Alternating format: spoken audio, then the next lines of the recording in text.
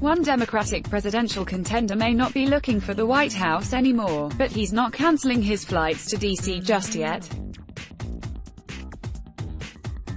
Stephanie Ruhle is joined by New Hampshire Democratic Party Chairman Raymond Buckley, Harvard Kennedy School professor Arthur Brooks, and former assistant to President Obama Chris Lu to discuss what's in store for John Hickenlooper and the rest of the 2020 contenders.